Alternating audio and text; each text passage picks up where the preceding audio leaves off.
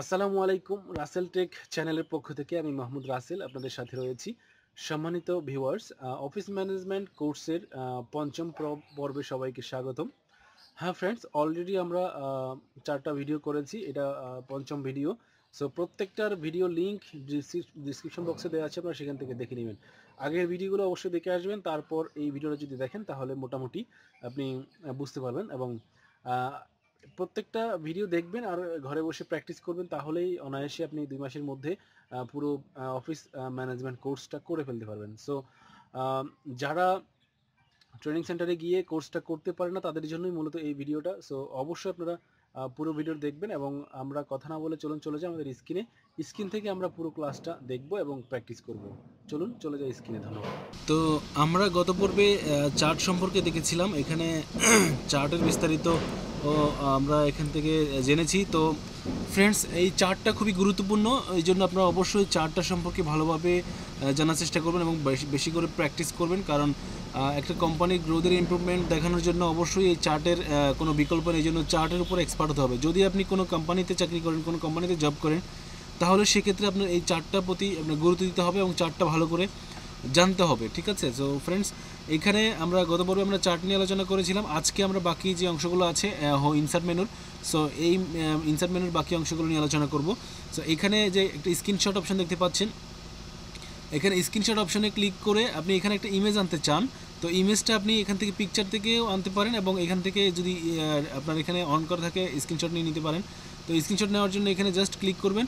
Click করে এখানে এই যে স্ক্রিন ক্লিপিং এখানে জাস্ট ক্লিক করে আপনি এখানে জাস্ট ড্র্যাগ করে যেটাই ড্র্যাগ করবেন হ্যাঁ অতটুকুই এটা স্ক্রিন হয়ে এখানে চলে আসবে অটোমেটিক সো এইভাবে করে একটা স্ক্রিন স্ক্রিনশট এখান থেকে নিতে হয়। তো স্ক্রিনশট নেওয়ার জন্য আপনারা আলাদা একটা সফটওয়্যার ইউজ করবেন, তাহলে যে কোনো ওয়েবসাইটের খুব সুন্দরভাবে স্ক্রিনশটটা নিতে পারবেন।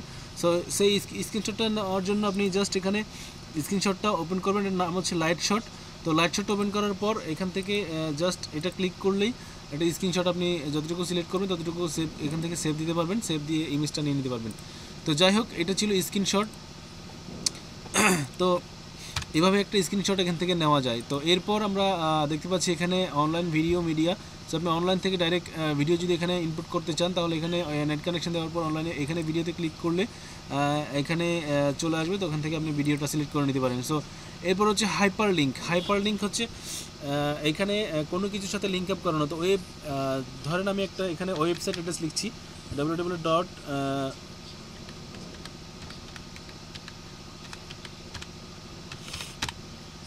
edulivebd dot com তো এই যে ওয়েবসাইটটা আমি লিখেছি, এটা এখানে ক্লিক করলে যাতে একটা ওয়েবসাইট ওপেন হয়ে যায়, এটাকে বলে হাইপার লিঙ্ক লিঙ্ক আপ করানো তো এখানে জাস্ট এটা সিলেক্ট করে আমি এখানে হাইপার লিঙ্কে ক্লিক করছি।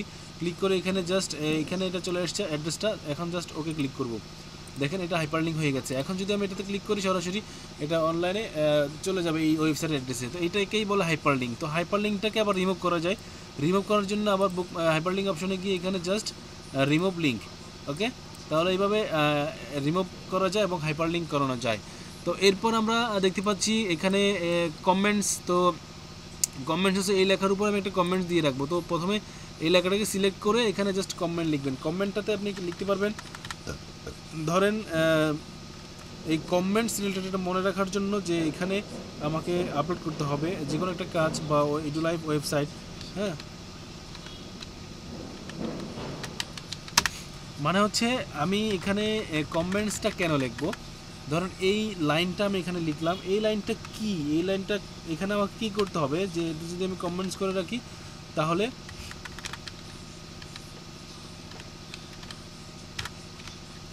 তো দেখেন, এখানে যখন আপনি কমেন্টস করে রাখবেন, তখন এখানে মাউস পয়েন্টার যখন ধরবেন, তখন এখানে একটা কমেন্টস উঠবে, ঠিক আছে? তো এটাকে আবার রিমুভ করার জন্য জাস্ট এখানে ক্লিক করবেন। ক্লিক করে এটাকে রিমুভ করে দিবেন।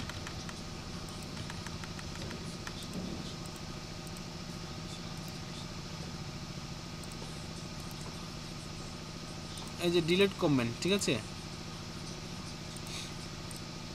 তো কমেন্টসটা ডিলিট করে দিয়েছি। তো এরপর এখানে হচ্ছে খুবই গুরুত্বপূর্ণ একটা বিষয় হেডার অ্যান্ড ফুটার তো হেডার অ্যান্ড ফুটার লেখার জন্য এখানে জাস্ট আপনি হেডার অ্যান্ড ফুটারে ক্লিক করবেন। ক্লিক করে এখানে এগুলো হচ্ছে রেডিমেড তো রেডিমেড আপনি এখান থেকে নিতে পারেন। অথবা এখানে এডিট হেডার এখানে ক্লিক করলে এখানে আসছে। তো এখানে আপনি লিখতে পারেন।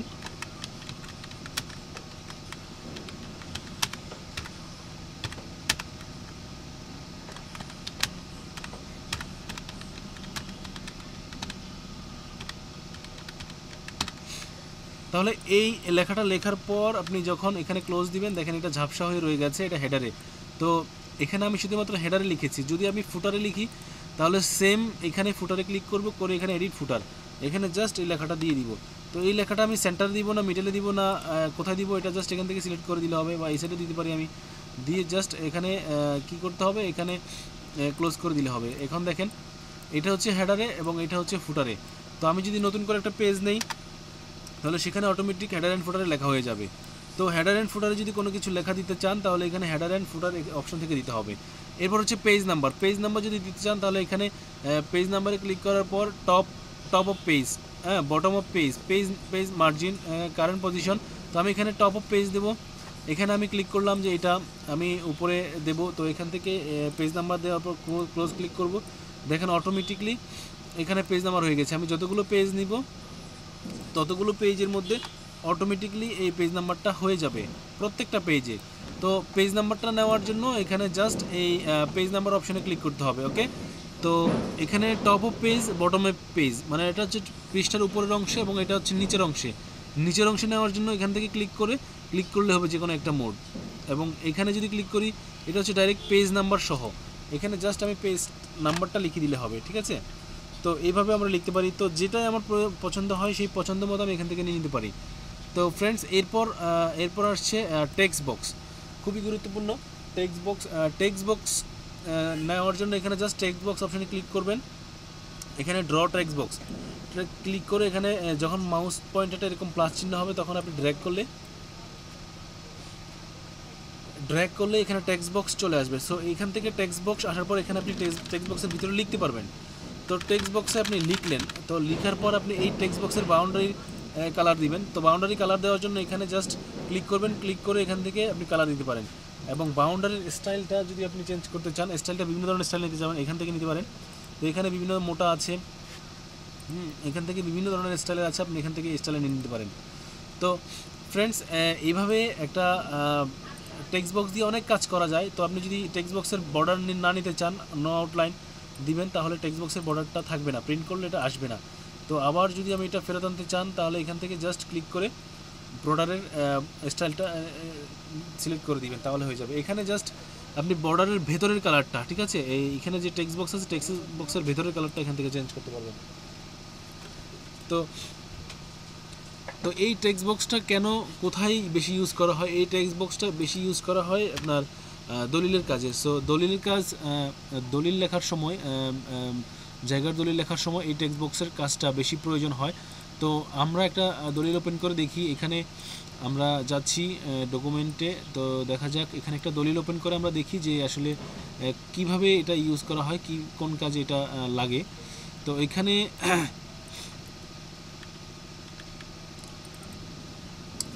দেখেন, আমি এখানে একটা সাব বিক্রয় দলিল ওপেন করব। এই সাব বিক্রয় দলিল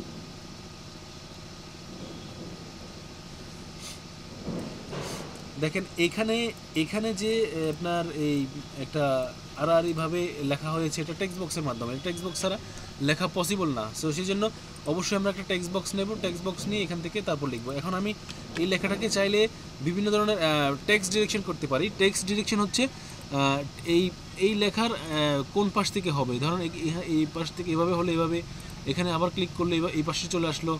হ্যাঁ আবার এখানে ক্লিক করলে ক্লিক করে আপনার প্রয়োজ- প্রয়োজ- প্রয়োজন মতো পজিশন মতো আপনি টেক্সট ডিরেকশন করে নেবেন। সো এটা হচ্ছে টেক্সট ডিরেকশন তো, বুঝতে পারছেন? এখানে এটা প্রিন্ট করলে বর্ডারটা শো হবে না। কেন শো হবে না? আমি এখান থেকে জাস্ট নো আউটলাইন করে রেখেছি। তো এখান থেকে যদি আমি আউটলাইন সিলেক্ট করে দিই, তাহলে এখানে সেই আউটলাইনটা এখানে চলে আসবে। সো যাই হোক এটা ছিল টেক্সট বক্সের কাজ। তো ফ্রেন্ডস আমরা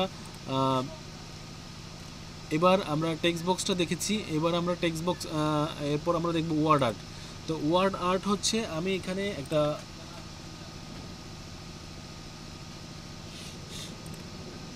ধরুন, আমি এখানে একটা লেখা লিখে লিখেছি রাসেল টেক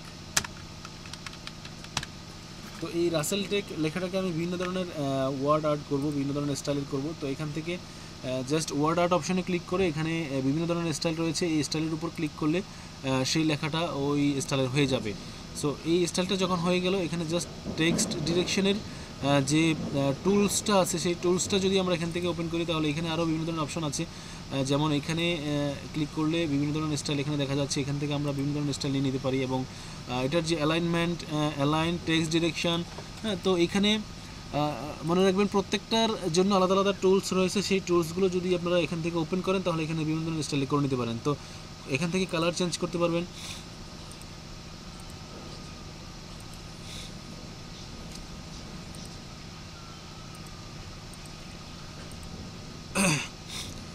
তো ফ্রেন্ডস এটা ছিল ওয়ার্ড আর্ট তো এভাবে আপনি এটাকে ইচ্ছে মতো বড়ো ছোটো করতে পারবেন। এখানে লেখার ফ্রন্টটাকে বড় করতে পারবেন। দেখেন। তো আমি যদি চাই অন্য একটা স্টাইল করব, তাহলে এটাকে জাস্ট সিলেক্ট করে এখান থেকে অন্য একটাতে ক্লিক করতে হবে। ক্লিক করলেই ওই স্টাইলের হয়ে যাবে। তো খুবই ইজিলি আসলে এই কাজগুলো করা যায়। আপনার জাস্ট একটু ঘাটাঘাটি করতে হবে, একটু প্র্যাকটিস করতে হবে। যত বেশি প্র্যাকটিস করবেন, তত বেশি আপনি এখান থেকে কিছু শিখতে পারবেন। এটা হচ্ছে কালার আপনি এখান থেকে কালারও চেঞ্জ করে নিতে পারেন। এখান থেকে আপনার স্টাইলটাও চেঞ্জ করতে পারেন। এখানে বিভিন্ন ধরনের স্টাইলের আছে। আসলে খুবই অহরহ স্টাইলের এখানে রয়েছে। আপনি কোন স্টাইলের করবেন? প্রত্যেকটার স্টাইল এখানে রয়েছে। আপনারা এখান থেকে জাস্ট একটু ঘাটাঘাটি করবেন। ওকে তো ফ্রেন্ডস এই ছিল word art so word art আমরা আর দেখব না। এখন চলে যাব ড্রপ কেপ ড্রপ ক্যাপটা কি আসলে? ড্রপ ক্যাপটা হচ্ছে আপনি এখানে ধরেন আপনার এখানে অনেকগুলো লেখা, একটা কন্টেন্ট আছে, পত্রিকার মতো যে লেখাগুলো লেখে প্রথম অক্ষরটা বড় হাতের এবং পরেরগুলো সব তো এখান থেকে আপনার জাস্ট ড্রপকে ক্লিক করে এখানে কোন স্টাইলটাতে আপনি করতে চাচ্ছেন, সেই স্টাইলটাতে ক্লিক করলেই এখানে সেই স্টাইলটা হয়ে যাবে। সো দেখেন, এটা হচ্ছে ড্রপ ক্যাপ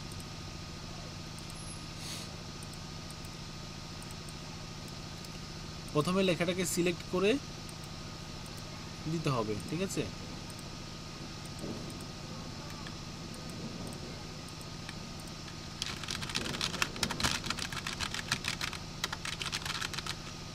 তো লেখাটাকে সিলেক্ট করেন, করে এখান থেকে জাস্ট ড্রপ ক্যাপ অপশনটাতে ক্লিক করেন, দেখছেন? তো এইভাবে এইভাবে আমরা, আপনারা মোটামুটি ড্রপ ক্যাপটা করে নিতে পারেন, যে পত্রিকার মতো লেখার জন্য এখান থেকে আপনার ড্রপ ক্যাপ থেকে নিয়ে নেবেন। তো ফ্রেন্ডস এখানে ইনসার্ট অপশনের আরও কিছু কাজ রয়েছে, সেটা হচ্ছে এখানে এডুকেশন তো এডুকেশন রিলেটেড যত সূত্র লিখতে হয়, আপনারা এখান থেকে নিয়ে লিখতে পারবেন। যেমন ধরেন এটা একটা সূত্র, আপনি এই সূত্রটা লিখবেন, তো এখানে জাস্ট ক্লিক করলে, যেখানে আপনার কার্সরটা থাকবে যেখানে আপনার কার্সরটা থাকবে, ঠিক সেখানেই এডুকেশন রিলেটেড যেই সূত্রগুলো রয়েছে, এখানে, সেখানে উঠে যাবে। তো আমি এখান থেকে জাস্ট ইনসার্ট মেনুতে ক্লিক করছি, এখানে জাস্ট এডুকেশনে ক্লিক করে এখানে ধরেন আমি এই এই সূত্রটা লিখব, তো এখানে জাস্ট ক্লিক করব, এই সূত্রটা এখানে চলে আসছে, এখান থেকে আপনার মডিফাই করে নিতে পারেন। সো এখানে আপনার যত এডুকেশন রিলেটেড যত সূত্র এবং অন্যান্য যেই গাণিতিক চিহ্নগুলো, যে এগুলো কিবোর্ডের মাধ্যমে লেখা যায় না, তো সেগুলো অবশ্যই আপনারা এখানে পাবেন। তো প্রত্যেকটা সো প্রত্যেকটা সূত্রগুলো এবং গাণিতিক চিহ্নগুলো পাওয়ার জন্য এখানে আপনাকে ঘাটাঘাটি করতে হবে, বেশি করে প্র্যাকটিস করতে হবে। যত বেশি প্র্যাকটিস করবেন, তত বেশি আপনি এখান থেকে জানতে পারবেন। সো এইখান থেকে যে এখানে যে রেডিমেড যে অপশনগুলো দেখতে পাচ্ছেন, এই সবগুলো, এইগুলোর মধ্যে সব কিছু রয়েছে। এখান থেকে আপনারা ক্লিক করে এখান থেকে আপনারা মডিফাই করে নিতে পারবেন। সাপোজ আমি এখানে ধরুন এখানে অ্যাপ আছে, আমি এখানে অ্যাপের জায়গায় যদি এ লিখি, তাহলে এ হয়ে যাবে। এবং ব্র্যাকেট ব্র্যাকেটের মধ্যে যে এক্স রয়েছে, সেখানে যদি আমি ই লিখি, তাহলে ই হয়ে যাবে। তো এইভাবে করে মোটামুটি আপনারা সব কাজগুলো করে নিতে পারেন। সো এরপর আমরা এখানে আরেকটা যে অপশন আছে সেইম্বল তো সেইম্বলটা হচ্ছে গাণিতিক চিহ্নগুলো এবং যে চিহ্নগুলো কিবোর্ডের মাধ্যমে লেখা যায় না, সেই সেই চিহ্নগুলো এখান থেকে নিতে হয়। তো নেওয়ার জন্য এখানে জাস্ট সেম বলে ক্লিক করবেন এবং এখানে, এখান থেকে যদি আপনার এগুলো যদি না হয়, তাহলে আপনার মোর সেম বলে ক্লিক করবেন। মোর সেম বলে যখন ক্লিক করবেন, এখানে আরও অপশন আছে। এখান থেকে আপনারা, তো এগুলো নিয়ে নিতে পারেন। তো এখানে দেখেন, যেমন এই চিহ্ন, এই দশ যে এই একটা গোল চিহ্নের মধ্যে দশ লেখাটা, এটা আমি জাস্ট সিলেক্ট করে এখানে ইনসার্ট অপশানে ক্লিক করি, তাহলে সেম জিনিসটা এখানে আপনার পেজে চলে আসবে। সো এই এটা কিবোর্ডের মাধ্যমে আসলে লেখা পসিবল না, সেজন্য অবশ্যই আপনাকে এই এই সেম বলের হেল্প নিতে হবে। এডুকেশন এবং সেম বল হেল্প নিয়ে আপনি এই কাজগুলো করে নিতে পারেন। সো অনায়াসে। তো এখানে আপনি যদি চান যে বিভিন্ন ল্যাঙ্গুয়েজের উপর আপনি এই সেম্বলগুলো পেতে চান, তাহলে এখানে জাস্ট ক্লিক করবেন। এখানে ফ্রন্ট এখানে বিভিন্ন ধরনের ফ্রন্ট আছে। তো এই ফ্রন্টগুলো ক্লিক করলে সেই ফ্রন্টের এই গাণিতিক চিহ্নগুলো হয়ে যাবে। সো এখানে তো এখান থেকে আসলে কল্পনা করতে পারবেন না যে এখানে আসলে আপনার প্রয়োজনীয় কিছু রয়েছে। তো যেমন এই চিহ্নটা এটা হচ্ছে ইউরো চিহ্ন। সো এই ইউরো চিহ্নটা যদি আপনি নিতে চান, এখানে জাস্ট ক্লিক করে ইনসার্টে ক্লিক করলে ইউরো চিহ্নটা চলে আসবে। এটা আপনি কিবোর্ডের মাধ্যমে আসলে দেওয়া পসিবল না। তো যাই হোক ফ্রেন্ডস আমরা মোটামুটি ইনসার্ট মেনুর কাজগুলো করে ফেলেছি। ইনসার্ট অপশন থেকে আমরা আর দেখাবো না। যদি আপনার এই ইনসার্ট মেনু থেকে যদি কোনো প্রশ্ন থাকে, তাহলে অবশ্যই আপনি কমেন্টস করে আমাদেরকে জানাবেন এবং আমাদের সোশ্যাল মিডিয়া লিঙ্কগুলো দেওয়া আছে ডিসক্রিপশন বক্সে সেখান থেকে আমাদের সাথে যোগাযোগ করে নিতে পারেন। সো ফ্রেন্ডস পরবর্তী পূর্বে আমরা যেই ভিডিওগুলো করেছি, সেই ভিডিওগুলো অবশ্যই দেখে নেবেন। সেই ভিডিওগুলোতে আমরা হোম মেনুর বিস্তারিত আলোচনা করেছি। সো এম এস ওয়ার্ডের উপর এক্সপার্ট হতে গেলে অবশ্যই আপনাকে প্রত্যেকটা ভিডিও দেখতে হবে এবং প্রত্যেকটা ভিডিও দেখে আপনাকে প্র্যাকটিস করতে হবে। কারণ প্র্যাকটিস করা ছাড়া আপনার এই এম এস ওয়ার্ডের উপর এক্সপার্ট হতে পারবেন না। So friends Microsoft Office management কোর্সের মধ্যে আম- আমরা প্রত্যেকটার ভিডিও আপনাদেরকে ফ্রিতে দেবো। প্রত্যেকটা ভিডিও আমাদের করে চ্যানেলে স্টেপ বাই স্টেপ আপলোড করা হবে। তো আশা করছি প্রত্যেকটা ভিডিও আপনারা দেখে প্র্যাকটিস করে এবং দেন পরের ভিডিও দেখবেন। সো পরবর্তীতে আমরা ডিজাইন এবং লেআউট অন্যান্য যেই মেনুগুলো রয়েছে, ওই সেই মেনুগুলো নিয়ে আপনাদের সামনে আসছি। সো আজকের পর্ব এখানে রাখব। সবাই ভালো থাকবেন। ধন্যবাদ।